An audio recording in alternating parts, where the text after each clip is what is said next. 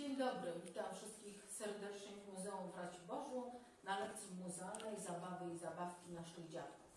Chciałabym, żebyśmy się cofnęli w czasie mniej więcej o 100 lat. Wyobraźmy sobie, że mieszkamy y, na Górnym Śląsku w typowej rodzinie śląskiej, która liczy sobie mniej więcej sześcioro, siedmioro dzieci. Na naszej archiwalnej fotografii widzimy rodzinę Joszko z Markowic, na której widać właśnie siódemkę dzieci. Dawniej uważano, że y, dzieci są błogosławieństwem dla rodziców, bo te dzieci od wczesnego dzieciństwa były wprowadzane do y, prac gospodarskich. Często zajmowały się pilnowaniem młodszego rodzeństwa, także to dzieciństwo było dość krótkie. Szybko wdrażano dzieci do obowiązków na gospodarstwie. Czas szybko upływa i oczywiście dzieci y, zaczynają być samodzielne. Chcą się bawić, chcą y, poznawać świat. I świat zabawek 100 lat temu zdecydowanie różnił się od tego, y, który znamy dzisiaj. Przede wszystkim zabawki to takie miniaturki rzeczy, które y, spotykamy wokół nas. 100 lat temu auta były rzadkością, więc i one rzadko występowały w kolekcjach zabawek dzieci. Najczęściej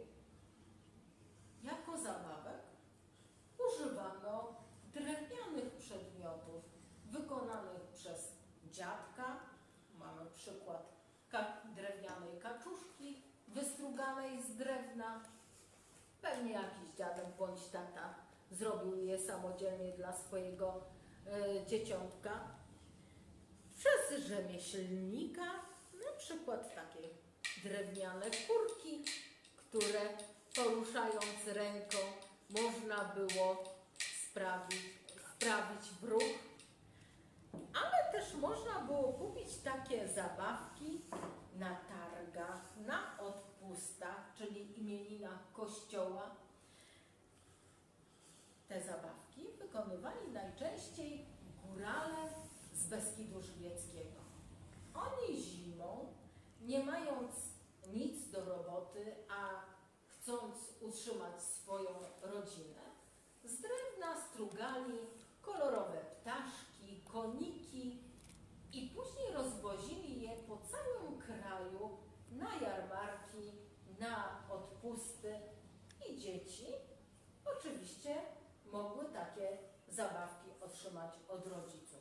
Najbardziej charakterystyczne są żywieckie koniki. Oczywiście w różnych wariantach. Dziecko może się dowiedzieć, że y, istniały wozy konne do przewozu towarów, na przykład siana, ziemniaków z pola, ale też istniały bryczki, w których jeździli ludzie. Powiedzieli, że to są pojazdy osobowe i pojazdy towarowe. Te zabawki często były zdobione intensywnymi kolorami. Proszę, zobaczcie, jakie czerwone koniki. Takiego w rzeczywistości nie zobaczycie, ale czerwony kolor podoba się dzieciom. Cóż jeszcze oprócz koników można zobaczyć? Możemy poznać kaczuszkę. Przywiązywało się ją sznureczkiem i ciągało za sobą możemy zobaczyć ptaki klapaki. Proszę bardzo. Zobaczcie, jak świetnie poruszały skrzydełkami. Ale trzeba było się troszeczkę wysilić, trzeba było z nimi chodzić, żeby one mogły poruszać skrzydełkami. Były różnego rodzaju karuzele, E, właśnie poruszamy za pomocą kółeczek, ale często dzieci sobie same wymyślały zabawy, różnego rodzaju e, zabawy w terenie, na podwórku, na dworze. Zabawy towarzyszyły często pracą, taką podstawową pracą dzieci, pięcio-, sześcioletnich, było pasanie gęsi albo pilnowanie krów na łące. Co wtedy dzieci robiły? No, grały w szmaciankę, bo piłka ze skóry była droga, nie każdego było stać na jej zakup, więc mamy czy babcie szyły takie szmaciane bale, czyli piłki, y, którymi dzieci, mo dzieci mogły grać. Dzieci często robiły sobie same zabawki, fujarki drewniane, ale taką ulubioną zabawką chłopców były szlojdry, czyli y, proce, wykonane z kawałka drewna, gumki i kawałka y, skóry. Można było nimi strzelać. Troszkę niebezpieczna ta zabawa. Dzieci bawiły się w chowanego, ciuciu babkę. Czy my teraz bawimy się w takie zabawy? Chyba trochę rzadko. Mając ferie, możemy sobie o tych zabawach przypomnieć. Ulubioną zabawą dziewczynek była gra w klasy. Rysowano na podwórku yy, takim yy, szablon yy, z poszczególnymi klasami, rzucano kamieniem i przeskakiwano z klasy do klasy. Ileż to razy grały dziewczęta y, w gumę, bawiły się piłką zabawę raz, dwa, trzy, baba Jaga patrzy. Ulubionymi zabawkami dziewczynek już od dawna były pluszowe misie i różnego rodzaju lalki. Nie każdą dziewczynkę stać było na zakup laleczki w sklepie, więc szyły sobie lalki z kolorowych tkanin, resztek y, ubrań, rysowały bądź wyszywały oczka, usta, przyszywały guziki jako oczka. Pewnie wasze babcie pamiętają jeszcze takie szmaciane lalki. Niektóre laleczki miały drewniane buźki i drewniane nóżki. Poza tym ubranka ze szmatek. Część laleczek była troszkę oszukana w związku z tym, że masa celuloidowa, z której zrobiona jest główka, była bardzo droga, więc robiono z niej tylko główkę, a pozostałe części e, zabawki były wykonane ze szmatek. Taką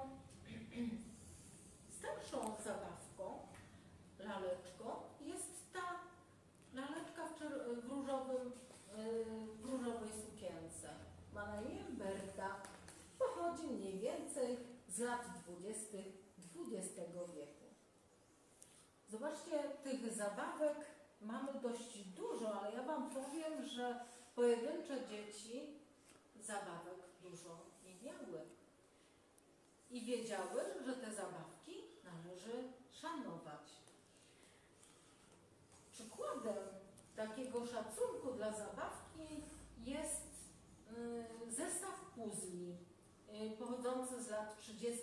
XX wieku z Markowic koło Raciborza, dzisiaj dzielnica Raciborza. Pani, która nam ofiarowała te puzzle, wspominała, że będąc dzieckiem mogła wraz z rodzeństwem bawić się nimi tylko wówczas, gdy były święta albo gdy miały Geburstag, czyli urodziny. Jeśli te świąteczne dni minęły, to mama chowała je głęboko w szafie, tak, były dzieci i mogły ich używać. Zobaczcie, mają prawie 100 lat i są w komplecie. Dzieci wiedziały, że należy wykonywać wszelkie polecenia ze strony e, rodziców, dziadków, że należy y, słuchać wychowawców w szkole. Pokażę Wam teraz instrument, który wcale nie był zabawką, a towarzyszył dzieciom od wczesnego dzieciństwa. Proszę bardzo, dyscyplina. kawałek drewna z, z nabitymi rzemieniami. Na Śląsku mówiono na to, Panie Boże pomagaj. Jak dobre słowo nie pomagało, to wtedy rodzic brał i uderzał taką dyscypliną, bądź w rękę, bądź w inną część ciała. Dzieci bardzo obawiały się takich kar cielesnych. Dzisiaj y, na szczęście już tego obawiać się w większości nie muszą. Kiedy dziecko kończyło 7 lat, udawało się do szkoły. I tutaj chciałabym Wam powiedzieć, że rodzice niezbyt chętnie posyłali swoje dzieci do szkół. Człowiek, który skończył trzy klasy szkoły podstawowej, to już był uczony. Potrafił pisać i czytać. Najczęściej uczono się pisania na tak zwanych tabulkach. Nie było zeszytu, ale takie, takie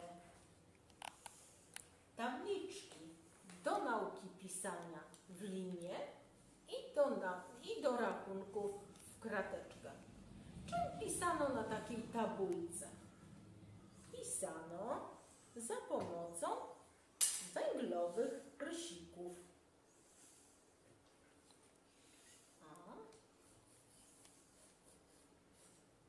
Nasza tabulka już jest bardzo stara i słabo na niej widać, ale z pewnością widzicie, że napisałam literkę A.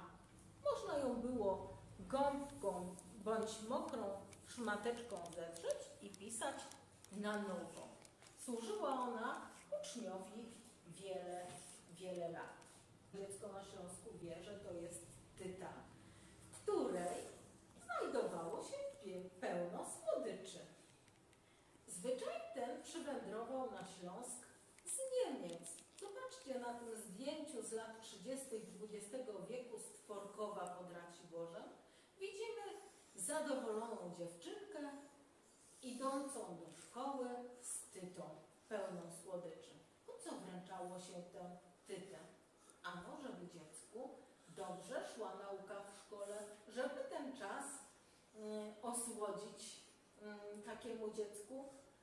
Była, był to rodzaj rogu obfitości, z którego dziecko miało czerpać właśnie w czasach edukacji.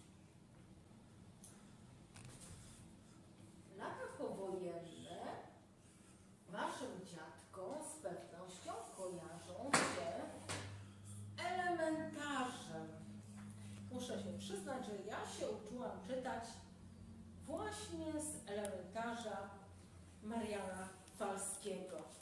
Proszę bardzo, głównymi bohaterami są Ala i As i jej koleżanka Ola. Dzisiaj macie zupełnie inne podręczniki. W podręczniku e, Falskiego pojawiają się zwierzęta domowe, zajęcia domowe, kury, konie, krowy. Dziś już takich nie spotkacie czytanek jak właśnie w tym podręczniku. Mam nadzieję, że spodoba się Wam, spodobały się Wam te zabawki i zajęcia Waszych dziadków. Wiele możecie wykorzystać na feriach we własnych domach. Przecież spróbować uszyć lalkę ze szmatek pobawić się w chowanego czy w kolory, to również świetna zabawa. Spróbujcie przenieść się do kraju,